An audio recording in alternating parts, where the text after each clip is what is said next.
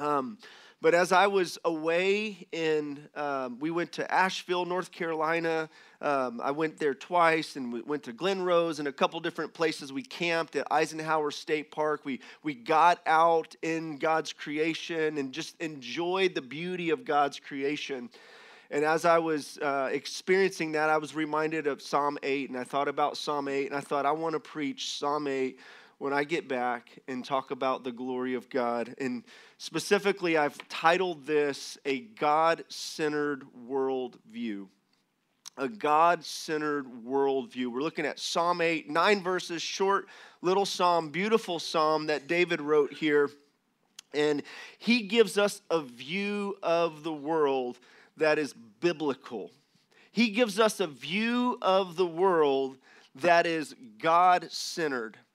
Now, just for a moment before, before we continue, I just want you to think when you look at the world, when you think about all that's going on in the world today, what comes to your mind? You don't have to say it out loud, but what's the first thing that comes to your mind when you look at the world? What's your view of the world?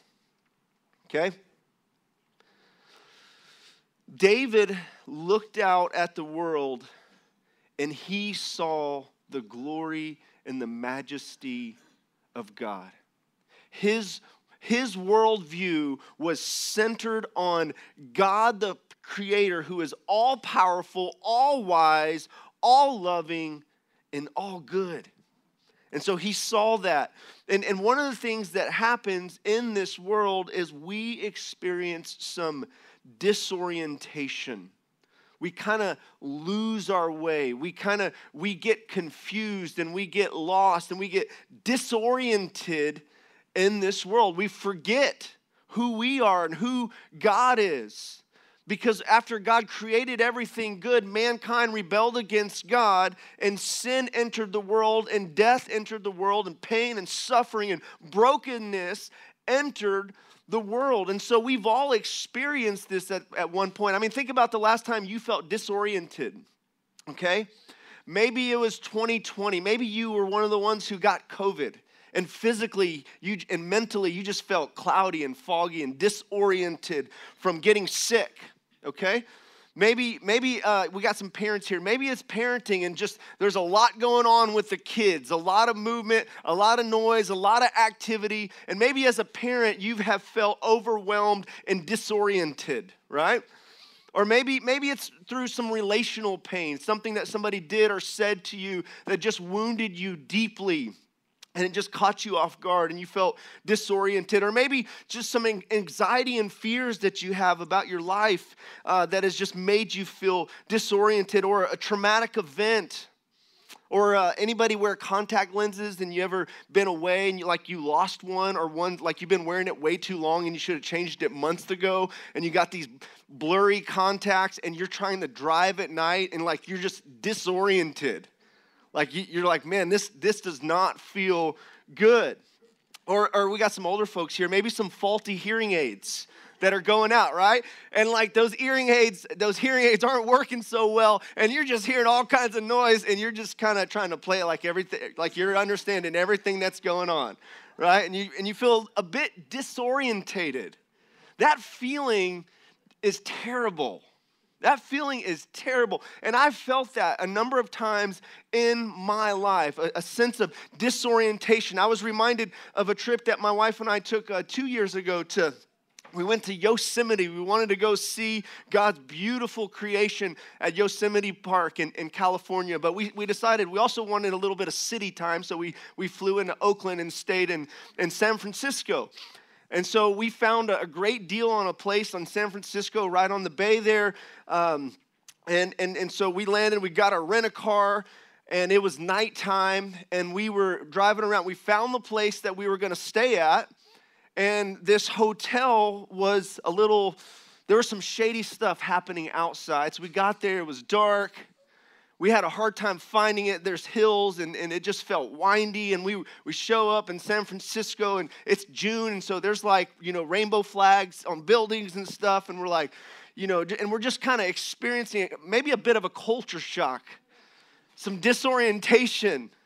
All right, we get there, and, and, and, and the, the, the hotel room was, was, you know, it was not, we did not feel safe. There, there was this shady elevator that we had to go up through. It was almost like a haunted house or something.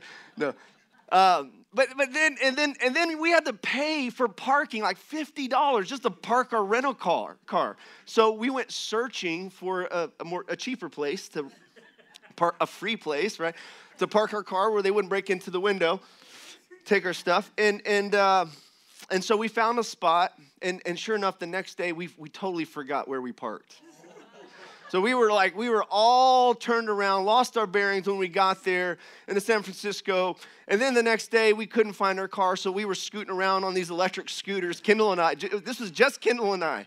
And we had a blast. I was having fun. I was like, come on, let's go, you know, let's explore the city. And like we had this this time limit though before, you know, we had to get the car and she there was a little tension there. Like, so we had to split up and divide and conquer. And and we were able to find the car eventually. Our Kendall was able to find the car. I was like, oh, look at this squirrel.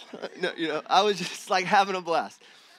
Any, anyways, that when I think of disorientation, that, that's an experience where we felt very disoriented. We felt like we, we, we needed some help to locate ourselves, locate our vehicle, right? Like, okay, look, we need some peace. And when we look at this psalm, Psalm chapter 8, it is a psalm that helps orient us to who God is and his perspective of the world, and we see ourselves rightly. Okay, listen what Eugene listen to what Eugene Peterson says about this psalm. He says prayer is an orienting act, orienting act. We begin to discover who we are when we realize where we are. Disorientation is a terrible experience. If we can't locate our place, we're left in confusion and anxiety. We're also in danger for, for apt and for and apt to act desperately with disastrous consequences. If, for example, we're alongside a cliff and we don't know it, we may lose our footing or take a catastrophic fall. While praying Psalm 8, we find out where we are in some important aspects of who we are. And that's how we regain our balance and reestablish our footing. Perhaps the Lord will do that in somebody's life here today as we look at Psalm 8. Regain some balance and establish your footing as you look into Scripture and as you come before the living God and you see who He is and what He says about Himself and what He says about you and find some sure footing in Him, and especially through His Son, Jesus Christ. And so let's read this together. Um, this is Psalm chapter 8. I'm reading from the ESV to the choir master according to Gittith, a psalm of David. So we know that David wrote this psalm, okay? Um, uh, th- this, this term Gittith is, I think, a musical term. And so this was a prayer song that was to be sung by the people of God. The Psalms give us, I love the Psalms for many reasons. The Psalms give us vocabulary for prayer. Sometimes we don't know how to pray as we ought to. We don't know how to voice our frustrations, our discouragement. We don't know how to voice our praise, and we need some vocabulary. We need some help in being able to do that.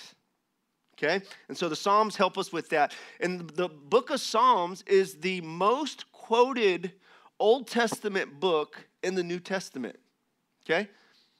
I think that's important to note. For some reason, the New Testament authors, inspired by the Holy Spirit, drew from the rich resource of the book of Psalms, all right, to highlight a Christ centered view, to point us to Jesus, and to point us to communion with God, tr- true communion with God.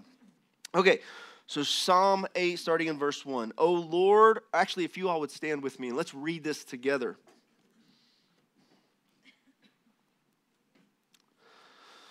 O Lord, our Lord, how majestic is your name in all the earth.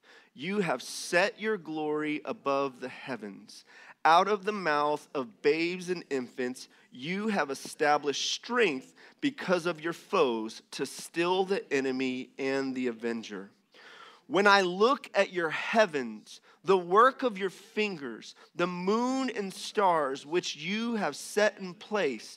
What is man that you are mindful of him, and the Son of Man that you should care for him? Yet you have made him a little lower than the heavenly beings and crowned him with glory and honor. You have given him dominion over the works of your hands. You have put all things under his feet all sheep and oxen, and also the beasts of the field, the birds of the heaven, and the fish of the sea, whatever passes along the paths of the sea.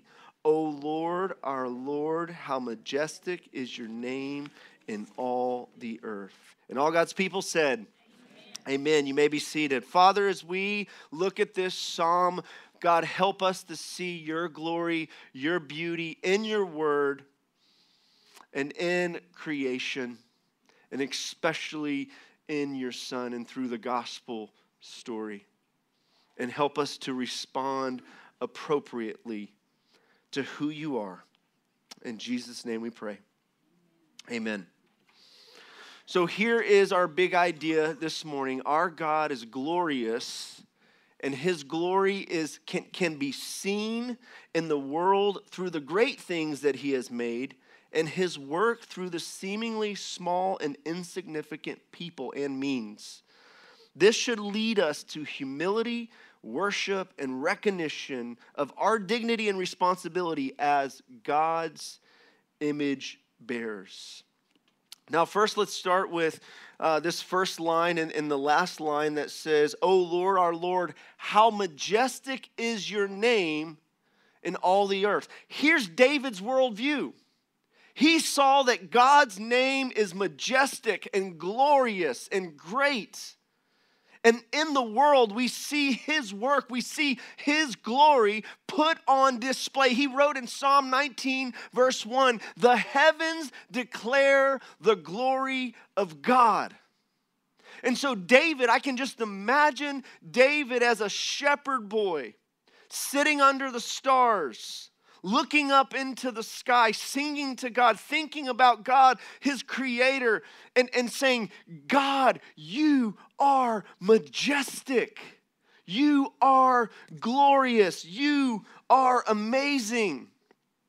And so David uses two names here, uh, two descriptions of God. One is his proper name, Yahweh, the proper name of the one true God, uh, as revealed to Moses in Genesis chapter 3. He uses this name Yahweh, oh, oh Lord, Yahweh, our Adonai. So Yahweh means the, is, is the proper name for the one true God. And the knowledge and the use of the name implies personal or covenant relationship. The name pictures God as the one who exists and causes existence. Yahweh the great I am, the one who said, I am that I am. Okay? So, so David says, Oh Lord, our Lord. And Adonai means Lord or master, supervisor, one who has authority over, husband, owner, or, or the Lord. Oh Lord, oh Yahweh, our Lord. Notice the personal description here. Our Lord. Is the creator God, Yahweh, the, the God of the Bible, is he your master? Is he your Lord? And as the saints, as the people of God, we can say, yes, he is. He is our Lord. He is our God. And so David was, starts off with that in, in verse 1, and then in verse 9, it's repeated. And so it's bookend there on both at the very beginning of the psalm and at the end of the psalm. So we see what the psalm is about. He's talking about the majesty of God's name, the glory of God that's been put on display in the world. And this right, this is what we're created for, by the way. We're created to glorify God. I love to ask this question when I'm out on the streets. I did this. I was uh, at, a star, at a Starbucks driving back from um, Asheville uh, last week. Um, was it last week or the week before? And I just asked the barista, you know, hey, uh, hey, Bobby. Asked the barista, um, what would you say? what, what do you think the meaning of life is? What, what's your purpose in life? And, and, I, and I love just hearing the responses. I, I love to ask this question as, as folks are just, as I'm, you know, at, you know, at, a, at a grocery store, at a restaurant, and just, just to kind of get an idea of what people make out of life. When they look at their life and they look at this world, um, you know, I, I hear a lot of different answers. I'll hear answers like, you know, to be happy or to make as much money as possible, or to, to be famous. Uh, one, one answer that I hear a lot is to help people, all right? And I, and I affirm that's good, right? But, but, but, but when people ask me in, re, in return, uh, when I ask them that question, and they say, well, well I don't know, what do, what do you think? Uh, what, what's, what's your purpose in life? What's your meaning in life? I say, you know, I have to start with the reference point of God, the one who made me. I believe that that I'm here and that we're all here ultimately for the glory of God. I agree with the Westminster Catechism that, that, that answers the question what is the chief end of mankind? To glorify God and enjoy Him forever. I believe that. I believe that, that the greatest command, as Jesus said, is to love the Lord your God with all your heart, with all your soul, with all your mind, and with all your strength. We're here ultimately for God first and foremost, for His glory, for His honor, for His pleasure. And we're also here to love our neighbor as ourselves, to do good to people. And God is glorified in us and through us when we display His character in loving and serving people. And the video highlighted this that we just watched. And so we're created for the glory of God. And in, in creation, when we look at the world, we see glory and we see beauty. We see majesty. God is at work. David believed in Psalm 33, verse 5, he believed that the, the one who rules, who created it all and, and holds it all together and rules over all, he believed that that God, Yahweh, is a God of, who loves righteousness and justice and that the, the earth is full of the steadfast love of the Lord. He believed that. Yet, Yet, what we look, we, we can also see when we look at the world, we see that something has really gone wrong. There's a problem. There is some brokenness in the world. Okay? And and now I that a biblical worldview gives space, it explains, it gives us room to comprehend and understand that there is something that has gone wrong with God's good creation and with humanity. When God created everything, He made it good, right? He saw that it was good. He said it was very good, but something went wrong. Mankind has fallen, has sinned, and fallen short of the glory of God. Derek Kidner says this about this psalm. He says that this psalm is an unsurpassed example of what a hymn should be, celebrating as it does the glory and the grace of God, rehearsing who he is and what he has done, and relating us and our world to him, all with masterly economy of words and a spirit of mingled joy in all. May we experience joy and awe and wonder and who God is as we take a step back and we, we reflect on who He is and what He's done in this world. And so, my first point here this morning is that God's glory is displayed through the great things that He has made. David said, When I look at your heavens, the work of your fingers, the moon and the stars, which you have set in place, what is man that you are mindful of him? So, so David's describing his experience of, of looking up and seeing the majesty of God, the glory of God through creation. How many stargazers do we have here? How many, how many folks love to just sit out and when, when, when you can see them, when you're, it's, not, it's not covered by the smog from the city, right? Or overpowered by the city lights, right? When you can actually see the stars and, and, and see the bright it's just it's delightful to sit and, and just look like look up and just think man god you're so big you're so great i wonder uh, the, the, the old hymn how great thou art i wonder if that was inspired uh, it must have been when you know oh lord my god when I in awesome wonder consider all the worlds thy hands have made. I see the stars, I hear the roaring thunder, thy power throughout the universe displayed. Then sings my soul, my Savior God, to thee. How great thou art! How great thou art! Then sings my soul, my Savior God, to thee. How great thou art! How great thou art! Amen. Surely the author of that old hymn was gazing upon the glory of God in creation.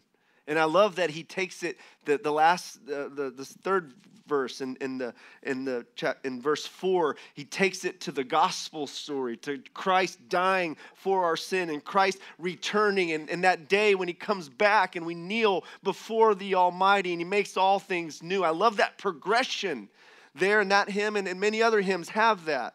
By the way, I enjoyed when we were singing Psalm 8 during worship. All right? We're singing, Oh Lord, our Lord, how majestic is your name. At one point, did y'all hear it?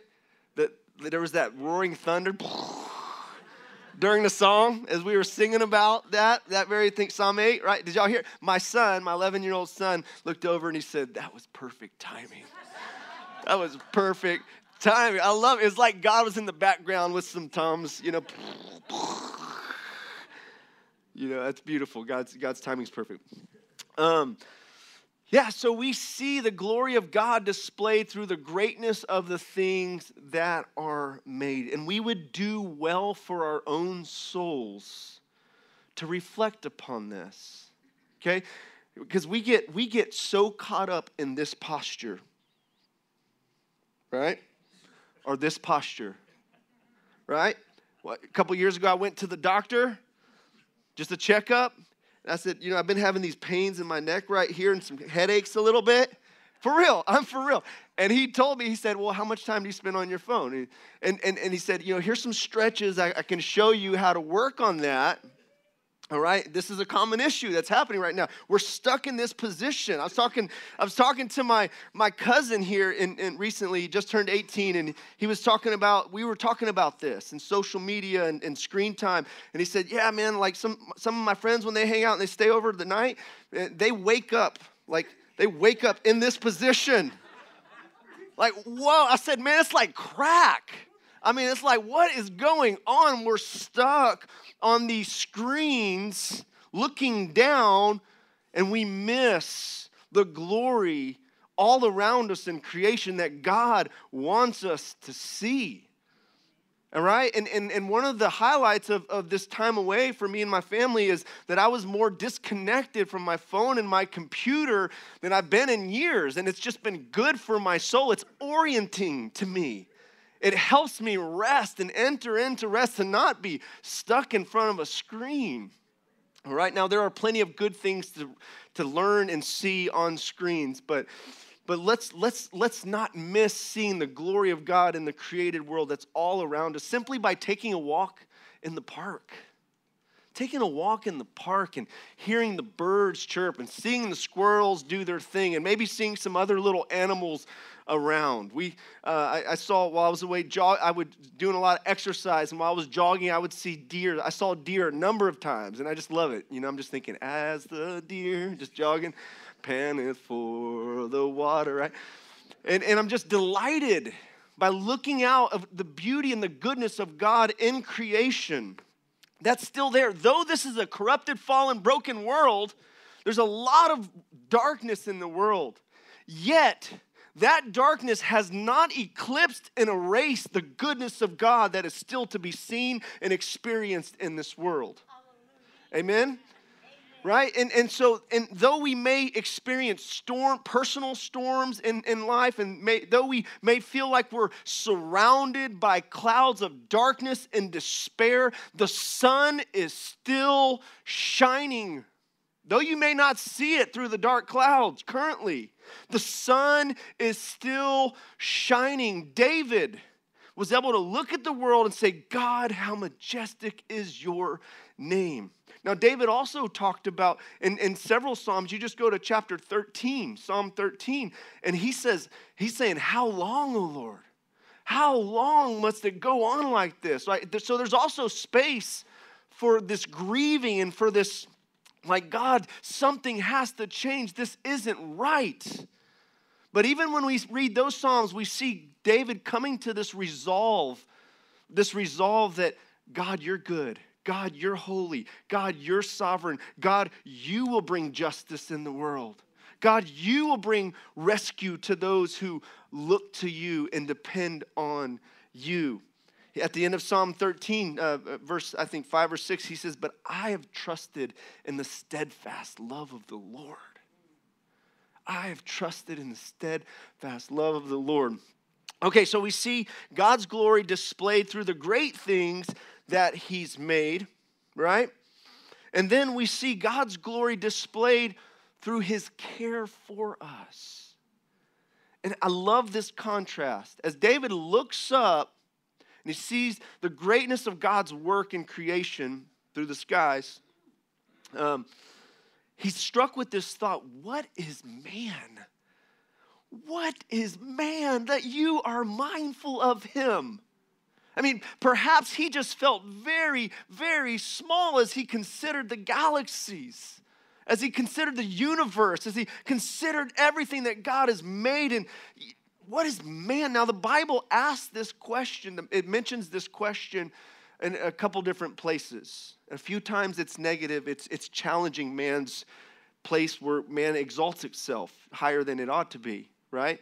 But this is, this is more of a positive example of what is man? Here's a positive thing here you're mindful of him and the Son of Man that you care for him. Jesus, by the way, when Jesus was emphasizing why we as his followers shouldn't worry and be anxious about tomorrow, what we'll eat and what we'll drink and, and our clothing and all that, those basic things in life that we need, he said, Look at the birds.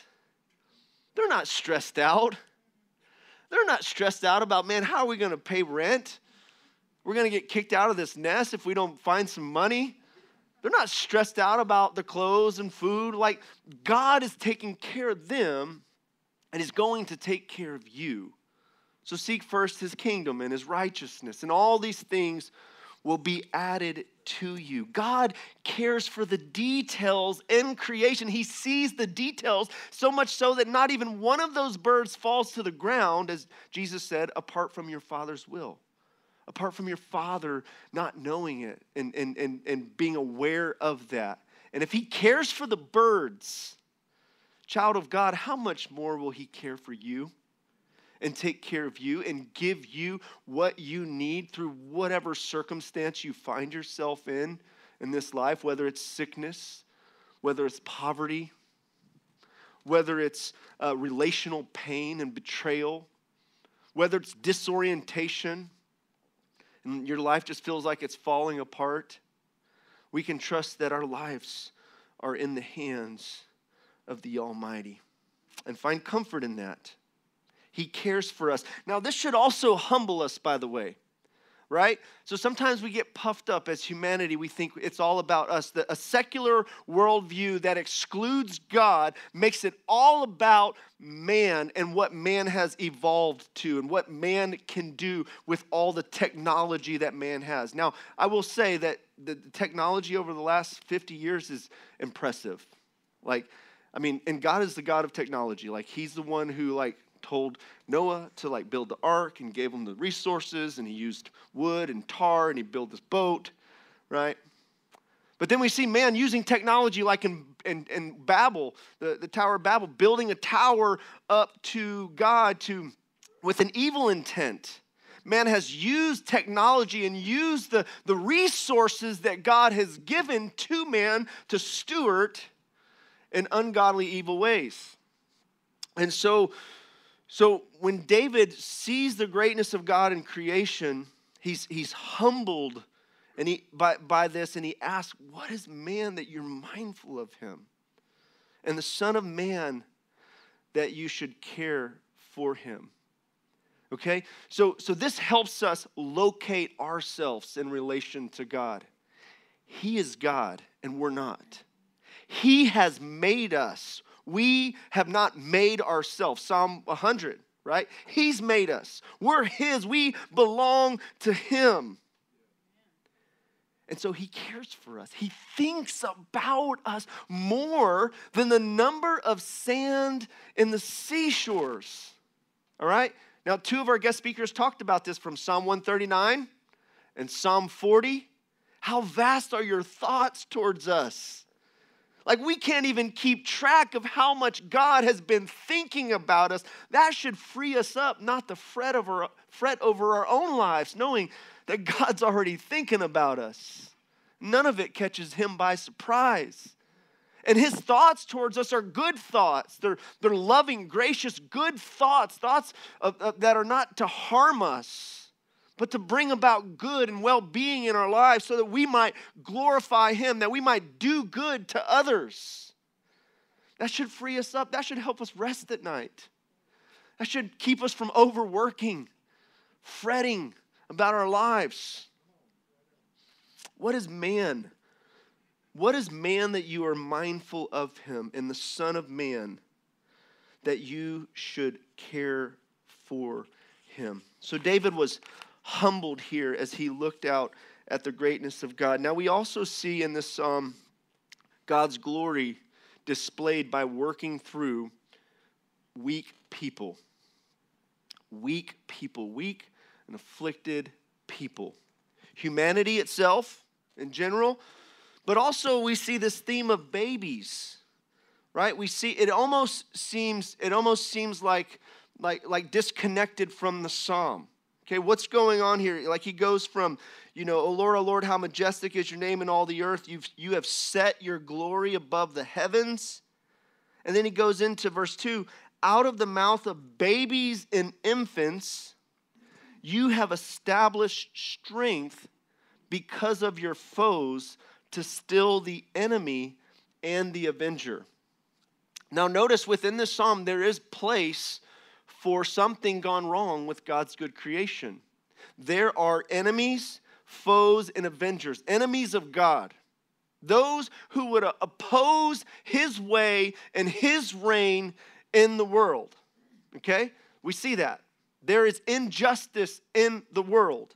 There is brokenness in the world. There is hatred in the world. Jesus said the love of many will grow cold in the last days, right? There's, there's a lot of brokenness in the world, and David does not deny that. But it doesn't eclipse the goodness and the glory of God that he sees in the world because God is the one who's ultimately in charge. And he's going to do something about all this brokenness. And God has chosen to display his glory through weak people. I mean, think about babies for a moment and just think about, I mean, they're beautiful, they're cute, right? They're precious. Um, Jesus quoted this in Matthew 21 on Palm Sunday as he's riding in on a donkey, not a, not a mighty war horse, but lowly, right? Riding in as a donkey. By the way, God, in, in choosing to defeat his enemies, chose to send a baby into the world, born of a virgin. Jesus came as a baby. Herod tried to kill him, Satan tried to tempt him. The Pharisees tried to stop him. And when the crowds of children and just common people were just praising him, saying, Hosanna, Hosanna, blessed is he who comes in the name of the Lord, Hosanna in the highest. The religious leaders, the seemingly strong of the day, and the smart or intellect, intellectual and the theologically trained of the day, they were offended by this. They were like, Do you see? Do you hear what they're saying? And Jesus quoted Psalm 8. And he said, Out of the mouth of babes comes perfected praise. Out of the mouth of babes comes perfected praise. God loves, as Paul says, to choose what is weak in the world to shame the strong. He says, For consider, brothers, not many of you were wise and according to the worldly standards, not many were powerful, not many were of noble birth, but God chose the foolish things of the world to shame the wise. God chose the weak things in the world to shame the strong. God chose what is low and despised in the world, even things that are not, to bring to nothing the things that are, so that no human being might boast in the presence of God. Or to say it positively, let him who glories or boast boast in the Lord. Last year we went through Second Corinthians, First Corinthians, and Second Corinthians, and this was a theme specifically of our series in Second Corinthians God's strength through weakness. Strength and weakness, right?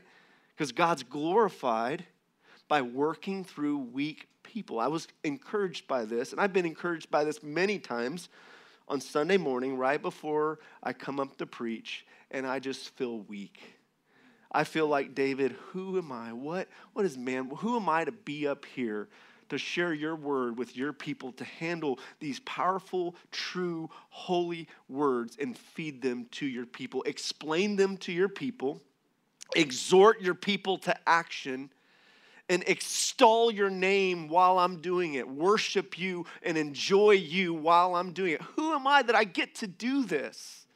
The honor and the privilege of being able to do this.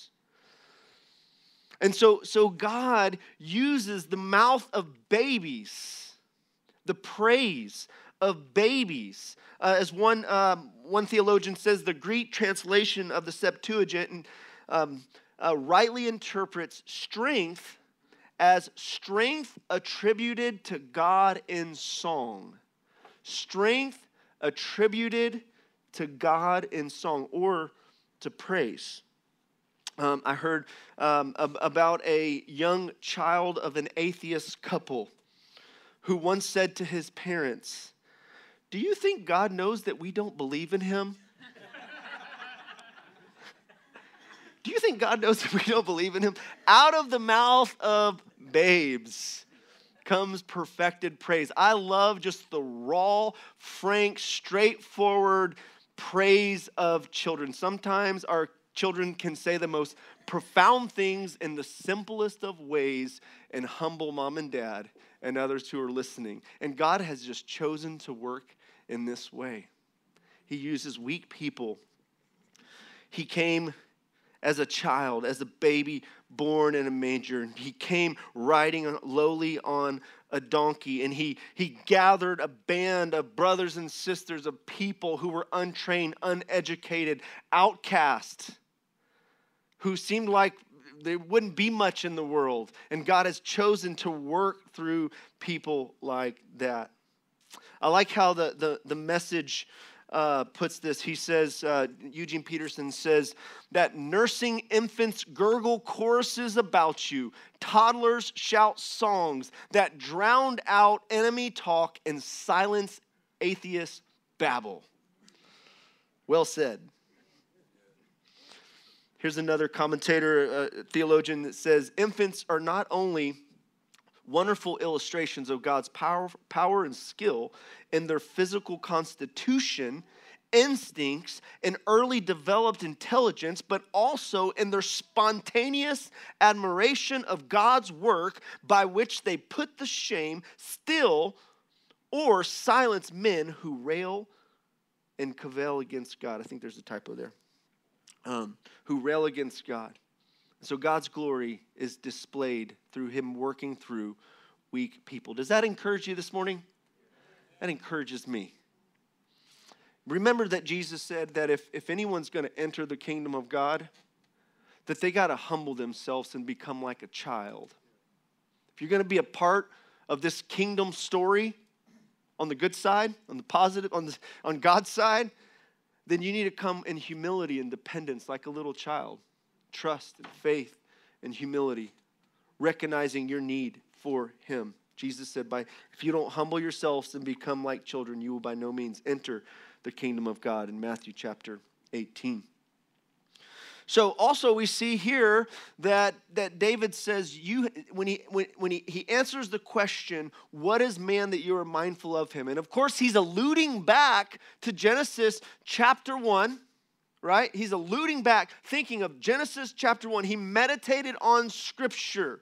David's worldview was shaped by scripture, was inspired by the Holy Spirit, and saturated in prayer. He had a God centered worldview, and he was able to see himself and humanity rightly through his God centered worldview. This is how he answers that question. Yet, what is man that you're mindful of him, and the Son of Man that you should care for him? Yet you made him a little lower than the heavenly beings. The word there is Elohim. Okay? Now, a lot of times in the Old Testament, that's translated as God, right? Okay, I think the ESV does a good job here translating it as spiritual beings or heavenly beings. You've made him a little lower than heavenly beings, and you've crowned him with glory and honor. You've given him dominion over the works of your hands. Okay, remember back in Genesis? God created mankind, He created a good world, and He told mankind, He blessed them, He said, Be fruitful and multiply, take dominion over the world, right? Like, and that doesn't mean abuse it doesn't mean just take the resources and waste it and abuse it and abuse people. And unfortunately, after Genesis chapter 3, that's what we see happening. We see a misuse of the stewardship, of the responsibility given to humanity. And we see terrible things. We see technology being used in terrible ways to harm people. Many people are, are very anxious about this new AI development. Perhaps you are as well. What's going to happen? Are computers going to rule the world, right?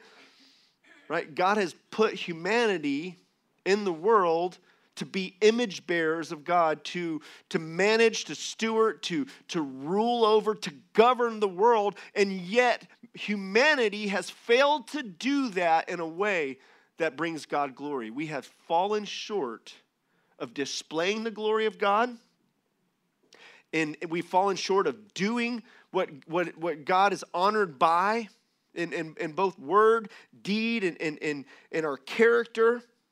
And so, what does God do to fix the story? What does God do to, to, to bring about a good ending? Because the Bible, a God centered worldview, has a good ending. All right? It doesn't end on a bleak note. Sin and Satan and hell does not get the last word. Our Lord does.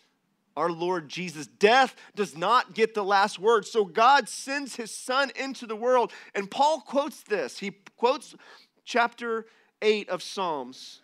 The author of Hebrews in chapter 2 quotes this psalm referring to the humanity that Jesus took on. And he lived a perfect life, and he lived in such a way that the Father designed humanity to live in doing good and reflecting God's image.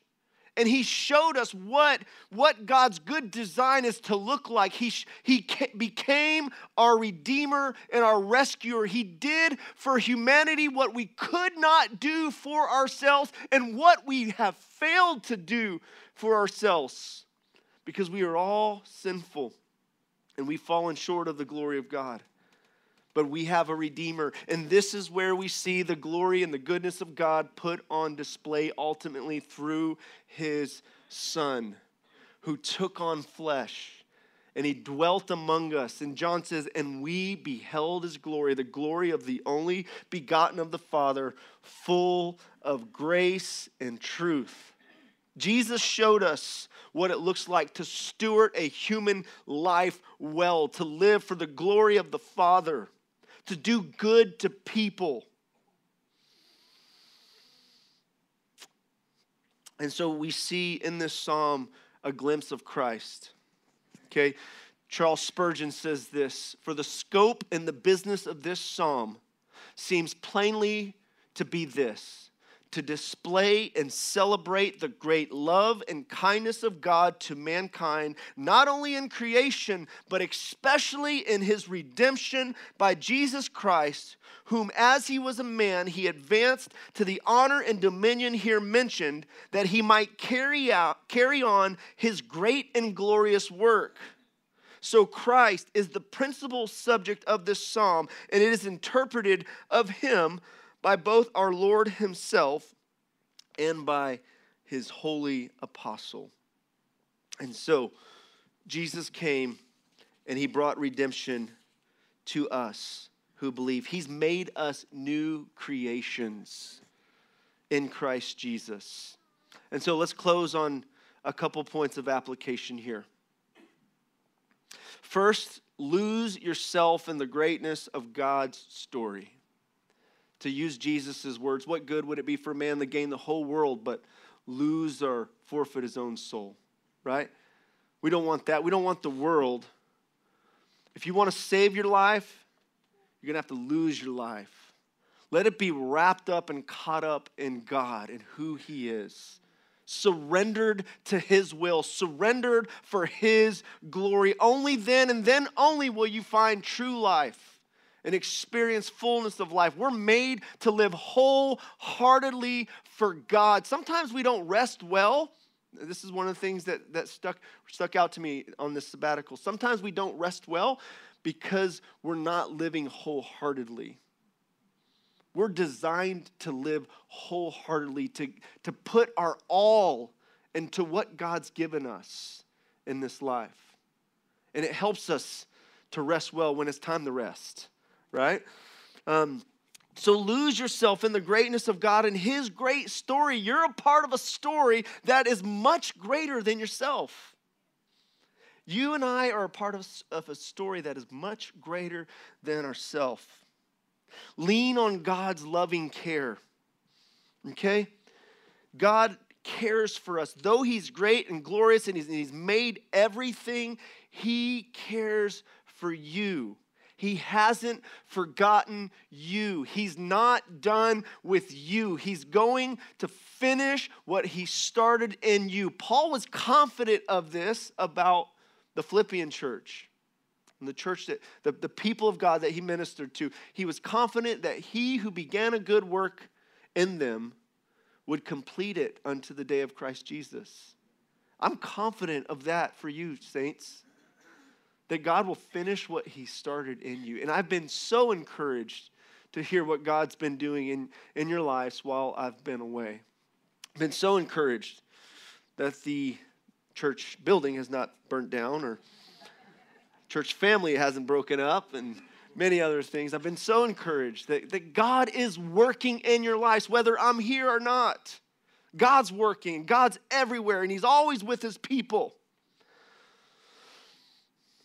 And lastly, um, locate yourself in God's story. So we, we are to recognize our honorable place in God's story given, given to humanity. And, and this should dignify us. When we look at people, we should see them as image bearers of God that have value because they're made in the image of God. We're more valuable than cats and dogs and birds and flowers and, and other things in this world. We're valuable because we bear the image of God. Life, human life, is valuable to God. And so we are to live honorable lives. We are to steward our lives and resources well. Don't squander your resources. Don't squander your time. Don't neglect your relationships. See people through God's eyes, through the lens of Scripture, as those who are made in the image of God, who bear the image of God, people for whom Jesus has died. Amen? And so let us stand in all of God's work, praise Him for who He is and what He's done, and be humble before Him as we faithfully carry out our God given stewardship in this world.